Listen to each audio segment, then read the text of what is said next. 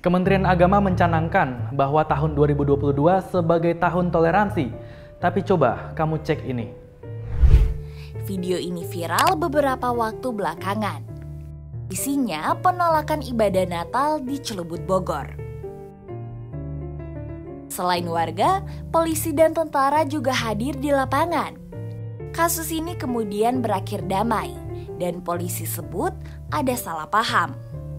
Namun, kejadian ini meninggalkan impresi buruk bagi kebebasan beragama. Muldoko, kepala staf kepresidenan, bahkan sebut peristiwa tadi sebagai kemunduran. Tapi nih, Pak Muldoko, kondisi kebebasan beragama di kita memang mundur loh. Per September 2022 saja sudah ada 32 peristiwa gangguan dan penolakan rumah ibadah.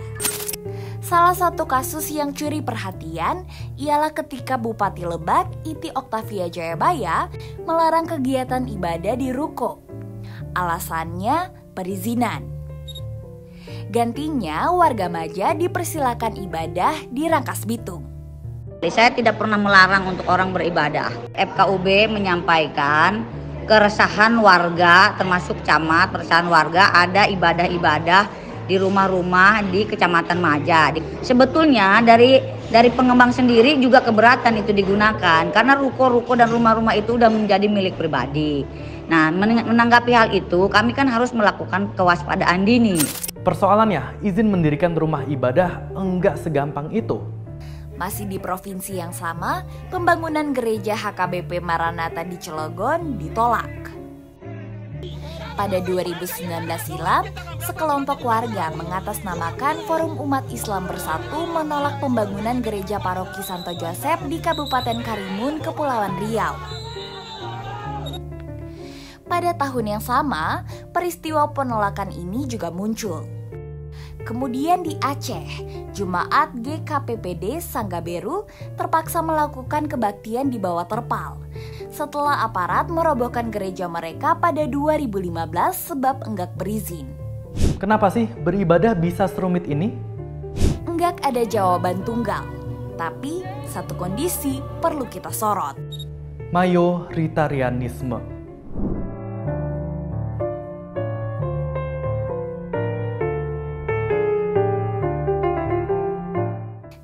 mendengar kata mayoritas dalam video yang membahas intoleransi agama di Indonesia, kita mudah tergelincir untuk menunjuk Islam agama yang dianut oleh mayoritas populasi nasional.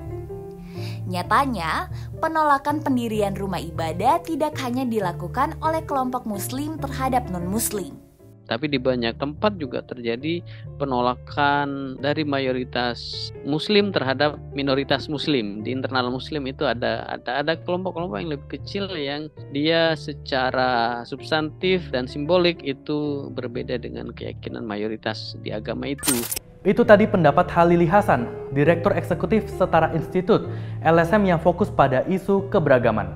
Kalau dalam konteks yang lebih luas, analisis Halili dapat dibaca sebagai berikut. Pada 2018, Persekutuan Gereja-Gereja di Kabupaten Jayapura menolak renovasi Masjid Agung Al-Aqsa di Sentani. Alasannya karena menara masjid itu lebih tinggi dari gereja di sekitar lokasi. Di Manado, keberadaan masjid gak kunjung dapat IMB lantaran berlokasi di wilayah mayoritas Kristen.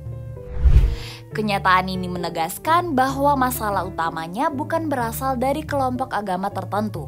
Minoritas apa pun agamanya rawan menjadi sasaran atas tindakan diskriminatif seperti penolakan pendirian rumah ibadah. Kalau kita kembali kepada pembacaan atas data, dalam data yang dirangkum oleh Sera Institute sejak tahun 2007 uh, mengenai gangguan terhadap rumah ibadah uh, dan tempat beribadat tempat peribadatan. Sebenarnya secara umum ada dua faktor ya yang yang kita bisa identifikasi. Pertama yang berkenaan dengan uh, faktor struktural sementara yang lain adalah faktor kultural. Ini faktor struktural, regulasi dua menteri yang lahir dari usulan organisasi-organisasi keagamaan. Regulasi itu adalah revisi atas SKB 2 Menteri 1969 yang isinya menjawab tantangan hubungan antaragama pada masa Orde Baru.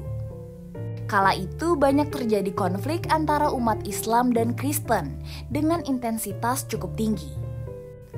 Akar ketegangan, isu kristenisasi. Dalam belait PBM 2 Menteri, ada sejumlah prasyarat untuk bangun rumah ibadah. Meski berlaku untuk semua agama, regulasi ini terus memicu dikotomi mayoritas-minoritas.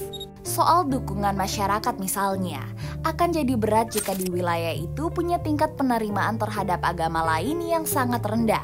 Tapi sesungguhnya kalau kalau kita kembali kepada Formula 60-90 itu salah satu yang paling problematik. Eh, konstitusi itu menjamin perorangan. Kenapa PBM itu kemudian menetapkan 60-90 gitu ya. 60-90 itu angka yang besar dan di banyak tempat jumlah pemeluk agama, penghayat kepercayaan itu hanya uh, hitungan jari kita. Dan jangan lupakan syarat rekomendasi dari Forum Kerukunan Umat Beragama. Karena begitu FKUB itu didominasi oleh mayoritas, maka jelas rekomendasi yang dikeluarkan itu akan sangat bias. Sejauh apa sih dampak dari kebijakan ini? Dalam kasus tertentu, pembangunan rumah ibadah justru dijadikan lahan bisnis. Artinya, ada kelompok memanfaatkan posisi pihak lain buat cuan.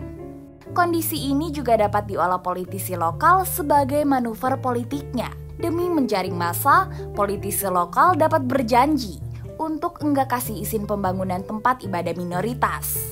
Omong-omong, faktor kultural turut pula jadi penentu terjadinya gangguan terhadap rumah ibadah. Riset bilang, kalau PBM 2 Menteri hanya fokus pada pemenuhan hak kultural seperti ekspresi dan ruang beribadah dalam situasi minoritas, aturan ini cuma menjamin soal rumah ibadah, tanpa memastikan bahwa mereka mampu terikat dengan populasi di wilayahnya. Dari sini, syarat dukungan warga sekitar hanya mudah dipenuhi oleh pemeluk agama mayoritas di wilayahnya masing-masing. Dengan kata lain, umat Kristen berhak beribadah di wilayah Kristen, Hindu di wilayah Hindu, dan seterusnya segregasi itu terjadi juga secara sosial misalnya di wilayah-wilayah pemukiman. Mulai muncul gejala di tengah-tengah masyarakat. Urban di mana mereka cenderung uh, memilih eh, ruang-ruang interaksi yang relatif sama berkemiripan secara identitas gitu ya. Ada keengganan untuk berinteraksi dengan yang lain di ruang-ruang uh, sosial itu. Yang tentu saja itu akan menjadi faktor yang memicu tingginya kecurigaan. Peraturan daerah dengan dalih kearifan lokal juga kerap digunakan untuk merumitkan pendirian rumah ibadah. Kalau kita cermati bagaimana negara itu bertindak, sebenarnya kelihatan bahwa negara itu cenderung mengekspresikan secara terbuka eh, sikap denial atau membiarkan gitu. Ada ada violation by omission di situ tapi dalam uh, situasi yang lain yang lebih buruk bahkan negara itu uh, mendenial atas uh, begitu banyak alasan. Salah satunya alasan misalnya kearifan lokal dan seterusnya atau alasan klaim-klaim kelompok mayoritas. Dorongan untuk merevisi aturan pun bermunculan. Salah satunya Persekutuan Gereja-Gereja Indonesia atau PGI Usulan itu pun sampai ke telinga Menteri Agama Yakut Kolil dan ia bilang akan mengkaji ulang.